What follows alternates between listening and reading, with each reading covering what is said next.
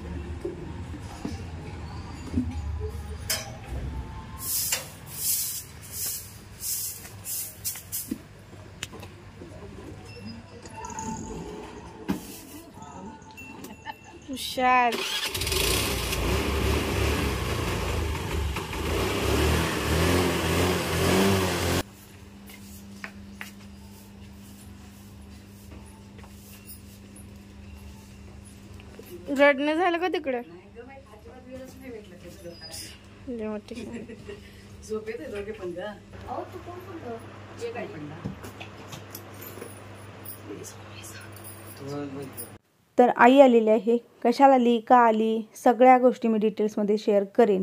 नवीन ताई असतील तर त्यांना सांगेन जुने व्हिडिओ बघा म्हणजे लक्षात येईल. काय? इथे आई होती इथे आई होती. पण मला ही तर आई ही दिसली ग ही तर भाऊ दिसतोय माझा हो आता लागलं ग. तू पण नाही शिकवलं ना. बरं लावायचं बरफ लावायला पाहिजे तेव्हा.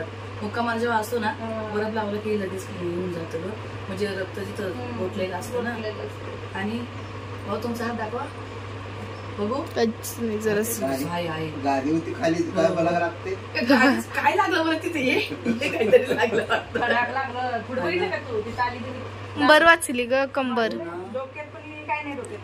पण जखम नाही झाली. असं लागलं पण जखम नाही झाली. काय थांब थांब जरा आता कुठली गेली ती आंघोळ न केल्या का वाटूनच. अगं मी अजिबात चुकलेली आहे ना. नाही अजिबात नाही चुकली जरा पण नाही. म्हणजे मी एकटी किती शिक्षा देते सगळ्यांना बघ ए मग तू एकटी रात्रभर जागून काय केली? मग काय करायचं आता? काय केली ते तरी सांग. काय नाही नाही नाही मोबाईल पण ठेवला एक साईडचे हे होते ना. विंडो होतं तिकडनं. मग ते बाहेर थोडंसं टाइमपासून जात होतं ना. आता पण मी ज्याला उठवायला सांगितलं ना म्हटलं मग अर्धा तास अगोदर सांग मला की आता येणार म्हणून. तो तर मीच झोपलेलो एवढं.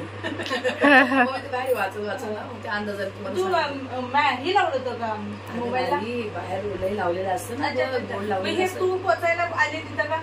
मी यायचं म्हणजे बस थांबायला महालक्ष्मीच्या. एकच सारख्या एकच सारख्या तिने पण ना. तीन गाड्या. मी तीन गाड्या फिरायला एका पण गाडीत कुठल्या गाडीत होती? पुढच्या मी गाडीत पुढच्या गाडीत. एक एसी होती नॉन एसी होती उतरली होती. हा मी उतरून उतरली आले. नुसती उतरलीच आणि भाऊ आले. फोन केले त्याला. फोन केला. कुठे एसीची होती ना ती पुढे लावली. यांच्या दोन माग नॉन एसी आणि एक बस महालक्ष्मी कुठे? बाळूमामा होती नाही नाही नाही नाही, महालक्ष्मी होती. ते बाळ मामाचं भेटत नव्हतं ते मी पण. बोलले. सेपरेट भेटत नव्हतं ना. या- यामध्ये सगळं होतं व्यवस्थित? हा व्यवस्थित. छान होतं. स्वच्छ होतं ना? स्वच्छ होतं व्यवस्थित. काय असं अगं माहिती का रोडच्या हिशोबाने गाड्या आदळतात जेव्हा मी उठून बसली बघत होते आपण जागा राहिलो की आपल्याला हादर जास्त जाणवतात. झोपी तेवढे जाणवत नाही. झोपेत असं म्हणजे आपण आडू पडलेला असं ना आपल्याला जास्त जाणवतं. उठून बसलं तर नाही एवढं जाणवत अगं बाई चिवला तर मी म्हणायची चिव धाड धाड धाड धाड झाली की चिव कधीतरी असं वाटत पडते की काय. त्यावर. अगं मी सगळ्यात कडेला झोपायची ना मला सवयच लागल्या. ही आहे की नाही? हिला जरा असा हादरा बसला एचू एचू एचू मला झोपू दे ना स्वतः पण झोपी ना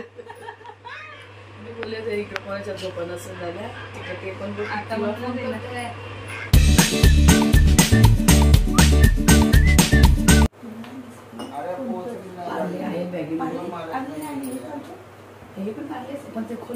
अरे.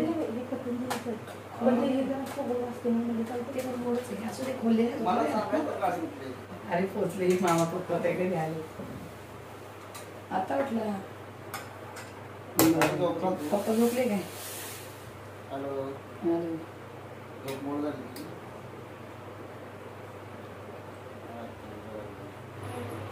येड झाले का? काय कधी केली? कुणाच कसं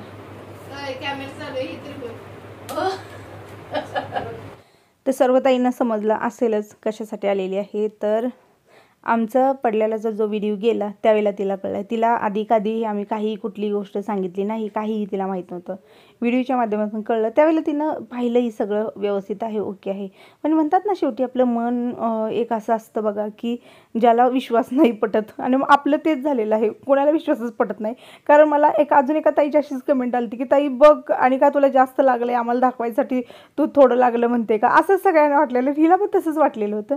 तिचा पण दम निघेना अजिबात तिला दम निघेना आणि त्यामुळे तिनं ठरलं की एकटी का होण्या याचं कारण सांगते मी दादा त्यांचं काम खूप ह्याच्यात आहे.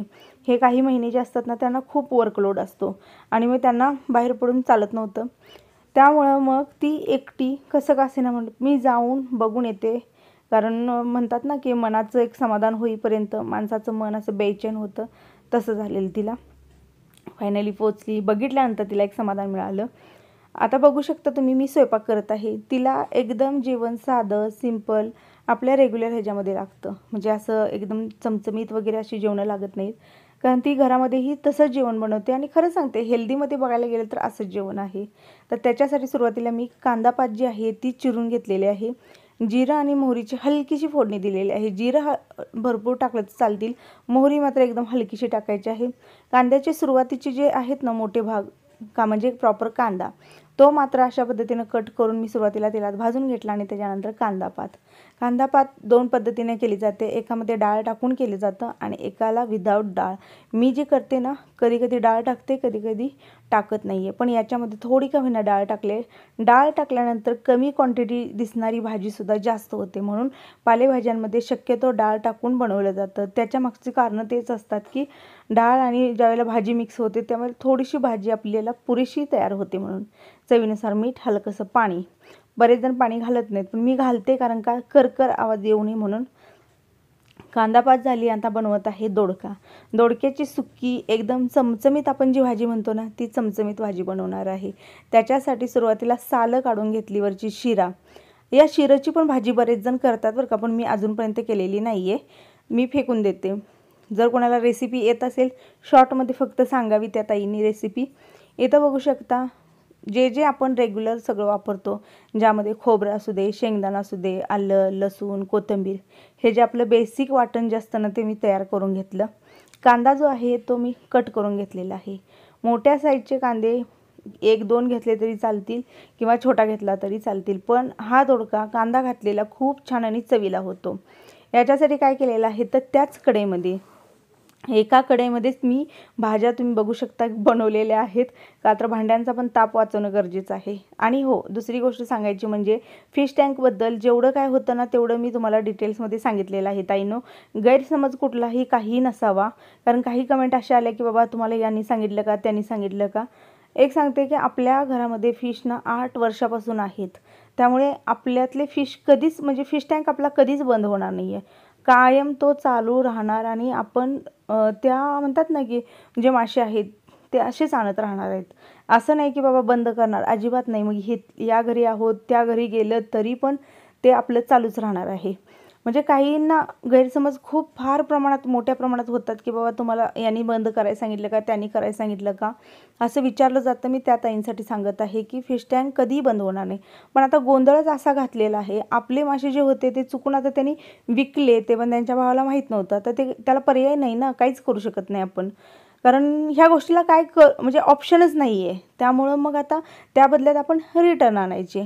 बघू शकता दोडक्याची भाजी जी आहे ती एकदम चमचमीत तयार झालेली आहे. ही जी म्हणतो ना आपण ह्याला मसाला दोडका आम्ही म्हणतो. आता पूर्णपणे काढून घेतलं आणि त्याच्यानंतर पुन्हा जिरं मोहरीची फोडणी आलं लसूण कोथिंबीर या तिन्हीचं वाटण आणि सगळे ठरलेले मसाले. यामध्ये आपली धणा पावडर जिरा पावडर हळद पावडर हे सगळं तेलामध्ये परतून घेतलं आणि शेवग्याच्या शेंगा आणि कोथिंबीर सकटी तेलामध्ये टाकून थोडंसं परतून घेणार आहे. कारण शेवग्याच्या शेंगांना मी थोडंसं पाण्यामध्ये उकळून घेते पण आज उकळून घेतलेला नाही आहे त्यामुळं मग मी तेलामध्ये एक दोन मिनिटनं चांगल्या फ्राय करून घेतल्या. म्हणजे आपल्या आहे त्या रेग्युलर मसाल्यासाठी आणि त्याच्यामध्ये ना डाळ घातलेली आहे. तर चवीनुसार मीठ टाकलं आणि झाकून ठेवले. शेवग्याची आमटी तयार. बाकी चपात्या वगैरे करून घेतल्या. इथे बघू शकता बहीण आलेली आहे. तर बहिणीसाठी आंब्याची जी पेटी आहे ना ती आणलेली आहे. तर असो आजच्या या व्हिडिओचा मी इथंच एंड करणार आहे. बऱ्याच जणींच्या कमेंट असेल की ताई खूप व्हिडिओ छोटा केला गं. आणि हो खूप खूप तुमचं जे प्रेम म्हणतात ना ते माझ्याप्रती फार प्रचंड प्रमाणात मला कमेंटच्या माध्यमातून सगळ्या गोष्टी दिसून येतात सगळ्या गोष्टी मला मिळतात. यासाठी खरंच सांगते तुमची अगदी हृदयापासून आ म्हणजे आभारी आहे. एखाद्या वेळेस तुम्हाला त्याचं उत्तर नाही मिळालं तर अगदी म्हणते मनापासून क्षमा मागते. फक्त नाराज होऊ नका आणि गैरसमज करून घेऊ नका ताईंनो. तर असं मी व्हिडिओ साईन करते. सर्वांना श्री स्वामी समर्थ.